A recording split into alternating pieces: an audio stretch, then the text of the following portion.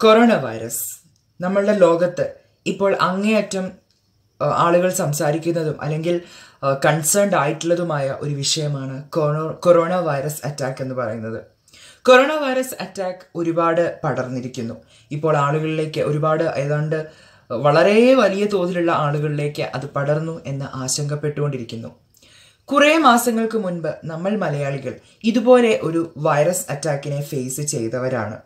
അതെ Nipah virus. Nipah virus attack നമ്മൾ എല്ലാവരും ഒരുമിച്ച് ചേർന്ന് നിന്നാണ് പൊരുതിയത്. ഒരുപക്ഷെ നമ്മുടെ കേരളത്തെ ഒന്നാകെ വിഴുങ്ങാൻ കെൽപ്പുണ്ടായിരുന്ന ഒരു വൈറസിനെ നമ്മൾ നമ്മുടെ ശക്തി കൊണ്ട് അല്ലെങ്കിൽ നമ്മുടെ മനധൈര്യം കൊണ്ട് എല്ലാം കൊണ്ടും നമ്മൾ അതിനെ പൊരുതി ഒഴിവാക്കി. കേരള ഗവൺമെന്റ് അതുപോലെ പല പല ഹെൽത്ത് ഡിപ്പാർട്ട്മെന്റ്സ് ഡോക്ടേഴ്സ് നഴ്സുമാർ പിന്നെ നമ്മൾ ജനങ്ങൾ എല്ലാവരും ഒരുമിച്ച് നിന്നിട്ടാണ് നിപ്പ വൈറസിനെ നമ്മുടെ കേരളത്തിൽ നിന്ന് ഒഴിവാക്കിയത്. രാജ്യാന്തരത്തിലും ഇന്റർനാഷണലിലും നമ്മുടെ കേരളത്തിന് ഒരു വലിയ ഒരു ഒരു മുഖമുദ്ര തന്നെയായിരുന്നു നിപ്പ വൈറസിനോടുള്ള നമ്മുടെ ചെറുത്തുനിൽപ്പ്. ഇന്ന് ലോകമെമ്പാടുമുള്ള ജനങ്ങളെ അങ്ങേ അറ്റം ബാധിച്ചുകൊണ്ടിരിക്കുന്ന ഒരു വലിയ അറ്റാക്കാണ് കൊറോണ വൈറസ് അറ്റാക്ക് ഒരുപറ്റം ജനങ്ങൾ ഇതിനെ ഒരു ബയോ വാർ എന്ന് പറയുമ്പോൾ മറ്റു ചിലർ ഇതൊരു നോർമലി സംഭവിച്ച ഒരു വൈറസ് അറ്റാക്ക് ആണെന്നും പറയുന്നു. എന്നിരുന്നാലും അതിനെപ്പറ്റിയൊക്കെ പിന്നീട് വലിയ വലിയ ചർച്ചകളും അല്ലെങ്കിൽ കണ്ടുപിടുത്തങ്ങളും ഒക്കെ വരുമായിരിക്കാം. എന്നിരുന്നാലും എന്താണ് കൊറോണ വൈറസ് എങ്ങനെയാണ് മനുഷ്യരിലേക്ക് കൊറോണ വൈറസ് പടരുന്നത്? എന്ന ജലദോഷ പനി മുതൽ സിവിയർ അക്യൂട്ട് റെസ്പിറേറ്ററി സിൻഡ്രോം വരെ ഉണ്ടാക്കാൻ കെൽപ്പുള്ള ഒരു ഗ്രൂപ്പ് ഓഫ് വൈറസുകളാണ് കൊറോണ വൈറസ് എന്ന് പറയുന്നത്. ഇപ്പോൾ കണ്ടുപിടിച്ചിരിക്കുന്ന കൊറോണ വൈറസ് എന്ന് പറയുന്നത് നോവൽ എന്ന ജനിതക വിഭാഗത്തിൽപ്പെട്ട കൊറോണ വൈറസുകളാണ് പിന്നെ ഇത് ആദ്യമായിട്ടാണ് ഈ ഒരു ജീനിയൽപ്പെട്ട വൈറസുകളെ ഈ ഒരു ജീനിയൽപ്പെട്ട കൊറോണ വൈറസുകളെ മനുഷ്യരിൽ കണ്ടെത്തുന്നത്. ഇതിനു മുൻപ് മൃഗങ്ങളിലാണ് ഇത്തരത്തിലുള്ള വൈറസുകൾ കൂടുതലായിട്ട് ഉണ്ടായി. മൃഗങ്ങളിൽ നിന്നാണ് ഇത് മനുഷ്യരിലേക്ക് പടർന്നത് എന്നാണ് ശാസ്ത്രജ്ഞർ വാദിക്കുന്നത്. ചിലർ അത് വവ്വാലിൽ നിന്നാണെന്ന് പറയുന്നു. ചിലർ മറ്റ് ജന്തുക്കളിൽ നിന്നാണ് മൃഗങ്ങ മൃഗങ്ങളിൽ നിന്നാണ് മനുഷ്യർക്ക് പടർന്നത് എന്നും അവർ പറയുന്നു. ശ്വാസനാളത്തെയാണ് ഇത് ഏറ്റവും അധികം ബാധിക്കുന്നത്. പിന്നെ നമ്മുടെ വൃക്കസ്തംഭനം പിന്നെ അതുപോലെ ശ്വാസം മുട്ടൽ ന്യൂമോണിയ ജലദോഷം ബ്രോങ്കൈറ്റീസ് എന്ന പല പല രോഗങ്ങളിലേക്ക് ഇത് നീണ്ടു നീണ്ടു പോകുന്നു. മൃഗങ്ങളിൽ നിന്ന് മനുഷ്യരിലേക്ക് പടരുന്നത് കൊണ്ട് തന്നെ ഇതിനെ സുനോട്ടിക് എന്നാണ് അവർ പറയുന്നത്. പിന്നെ ഇത് ചൈനയിൽ കണ്ടെത്തിയതിന് ശേഷം പല രാജ്യങ്ങളിലായിട്ട് ഇപ്പോൾ കണ്ടെത്തിക്കൊണ്ടും ഇരിക്കുന്നു. ചൈനയിൽ ആണ് ഇത് തുടങ്ങിയത് അല്ലെങ്കിൽ ചൈനയിൽ നിന്നാണ് ഇതിന്റെ റേഡിയേഷൻ സ്റ്റാർട്ട് ചെയ്തത് എന്നാണ് എന്നാൽ ഒരു ജലദോഷ പനി പോലെ തന്നെ നമ്മുടെ ശ്വാസനാളത്തെയാണ് ഇവ ബാധിക്കുന്നത്.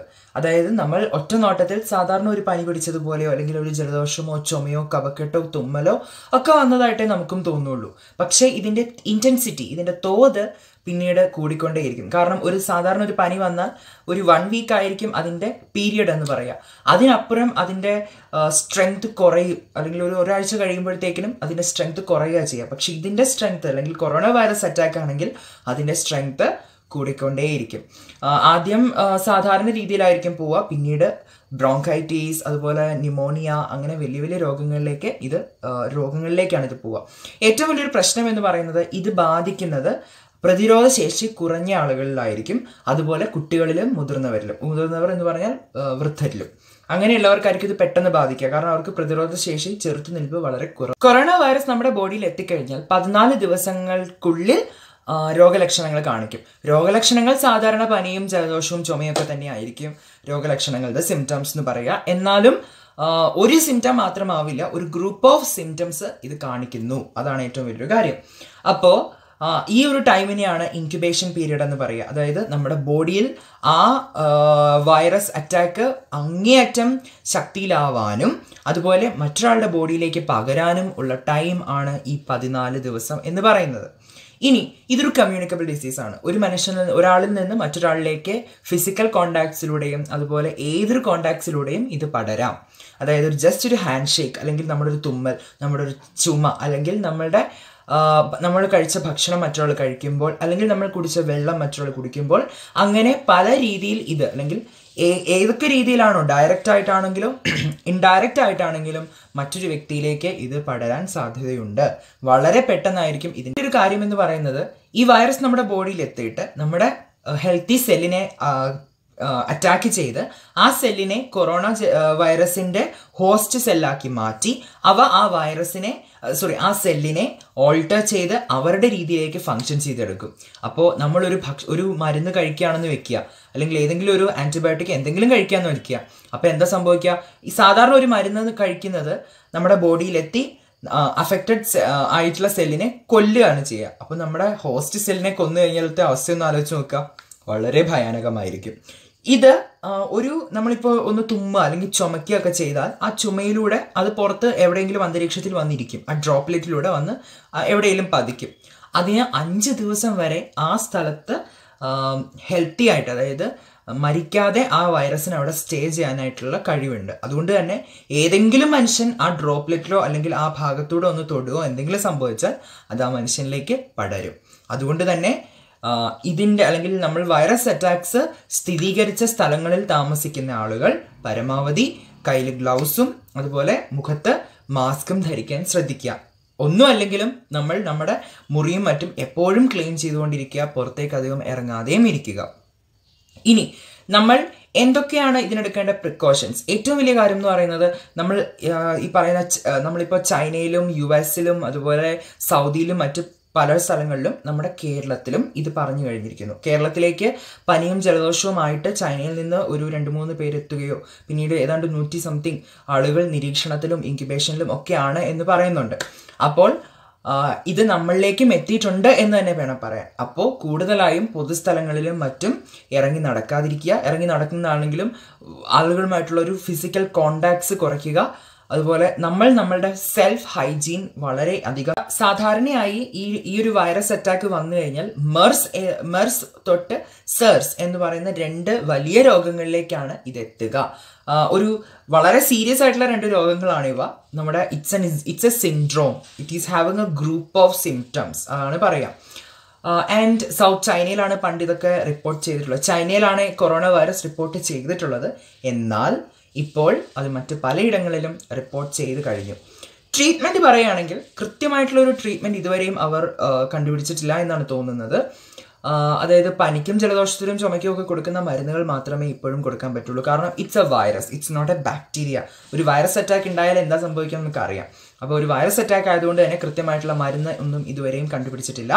പിന്നെ എവിടുന്നോ എങ്ങനെയോ മരുന്ന് എത്തിക്കാനായിട്ടുള്ള എന്തോ മരുന്നൊരു എന്തോ ഒരു സംതിങ് ഒരു മരുന്ന് എത്തിക്കാനായിട്ടുള്ള ശ്രമം നടത്തുന്നു എന്ന് അവർ റിപ്പോർട്ട് നടത്തുന്നുണ്ട്. പിന്നെ പരമാവധി ഇത് അഫക്റ്റഡ് ആണെന്ന് കണ്ടുപിടിച്ചിട്ടുള്ള ആളുകളെ പൊതു ആളുകളിൽ നിന്ന് മാറ്റി സെപ്പറേറ്റ് ഒരു റൂമിൽ അവർക്ക് എല്ലാ തരത്തിലുള്ള മെഡിക്കൽ കണ്ടീഷൻസും പ്രൊവൈഡ് ചെയ്ത് നോക്കി എങ്കിൽ മാത്രമേ അവർക്ക് ഈ ഒരു രോഗത്തിൽ നിന്ന് മുക്തി ഉണ്ടാവുകയുള്ളൂ. ഇല്ലെങ്കിൽ മരണം വരെ സംഭവിക്കാവുന്ന ഒരു രോഗമാണ് കൊറോണ.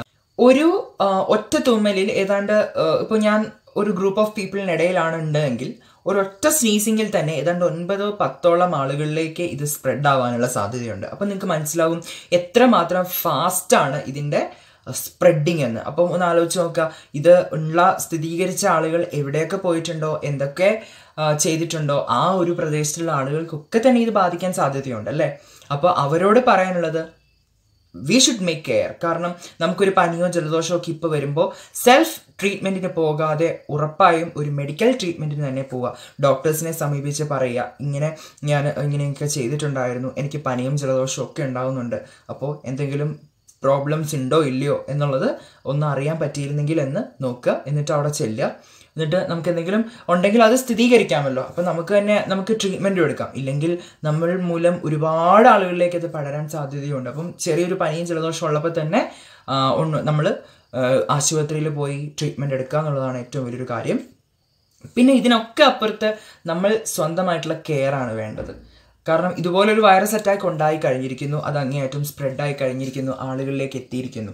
അപ്പോൾ നമ്മളിനി എന്താ ചെയ്യേണ്ടത്? അതിനെതിരെയുള്ള പ്രിക്കോഷൻസ് നമുക്ക് കഴിയുന്ന രീതിയിൽ എടുക്കുക. നമ്മൾ നമ്മുടെ ചുറ്റുമുള്ള ആളുകളെ ബോധവൽക്കരിക്കുക. നമുക്ക് ഇങ്ങനെയൊരു ഒരു പ്രശ്നമുണ്ടായാൽ അതിനെ ചെറുത്ത് നിൽക്കാൻ നമുക്ക് എന്തൊക്കെ ചെയ്യാൻ പറ്റുമോ അതൊക്കെ ചെയ്യുക. We all should active because it's affected to the whole people of world അപ്പോൾ കാരണം രാജ്യാന്തരത്തിൽ അല്ലെങ്കിൽ ലോകത്തെ എല്ലായിടത്തും തന്നെ ഇതൊരു വലിയ ചർച്ചാ വിഷയമായിക്കൊണ്ടിരിക്കുമ്പോൾ നമ്മൾ അതിനെ അങ്ങേയറ്റം സീരിയസ് ആയിട്ട് കാണുക. അപ്പോൾ കൊറോണ വൈറസ് അറ്റാക്ക് ഉണ്ടായി കഴിഞ്ഞിരിക്കുന്നു സ്ഥിരീകരിച്ച് കഴിഞ്ഞിരിക്കുന്നു. അപ്പോൾ ഇനി അതിനെ ഇനി അതിന്റെ ഉന്മൂലനമാണ് നമ്മൾ ചെയ്യേണ്ടിയിരിക്കുന്നത്. അപ്പോൾ നമ്മളെല്ലാവരും ഒരുമിച്ച് നിന്ന് തന്നെ കൊറോണ വൈറസ് അറ്റാക്കിനെ ചെറുത്ത് നിൽക്കാം എന്ന് തന്നെയാണ് എനിക്ക് പറയാനുള്ളത്. So thank